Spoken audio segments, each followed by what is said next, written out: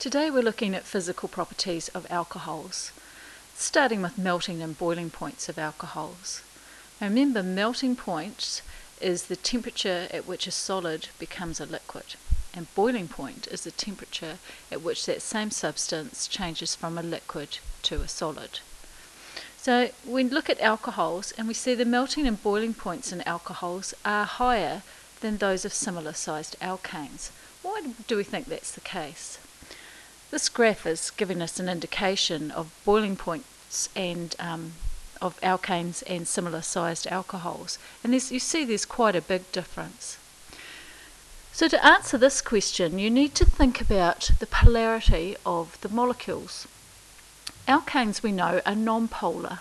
And if we look at alcohols, see they've got that OH group. Now the OH bond is quite a polar covalent bond.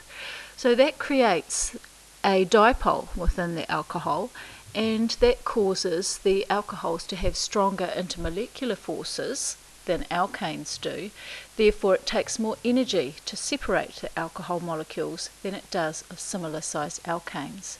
So, when you're explaining a question like this, you need to be talking about the polarity of the molecules. Alkanes are non-polar, alcohols are polar. What about solubility? Small alcohols are highly soluble in water. Can we say why?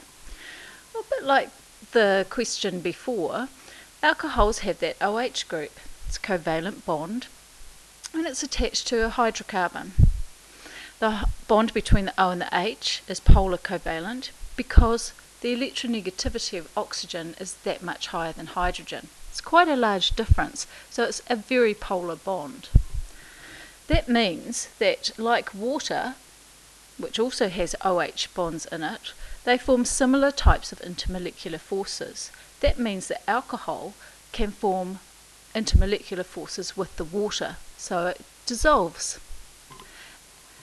And we see this in everyday life because if you see mum or dad having a whiskey at night, maybe they add a bit of water to it. And if they do, have a look. Did layers form?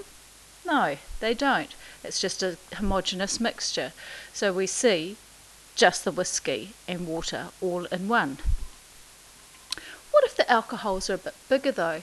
If we have larger alcohols with four carbons or five carbons or six carbons as shown in this graph here, we can see that solubility is decreasing. Now why would that happen? Why would large alcohol molecules be insoluble in water? Once again, we need to think about polarity. This time, despite the fact that the OH group is polar, due to those differences in electronegativity again, the hydrocarbon group now is bigger. Okay, so we've got a non-polar group, which is large, a larger percentage of the alcohol molecule. Now that part of the molecule is insoluble in water. If you think of alkanes and alkenes, they're insoluble in water and they float on top. Remember, they're less dense than water.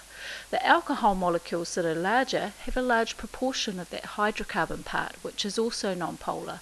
So that makes that part is insoluble in water, and that means that the nonpolar part, as it gets bigger, has a greater effect on the solubility of the alcohol in water. The larger it is, the less soluble it is.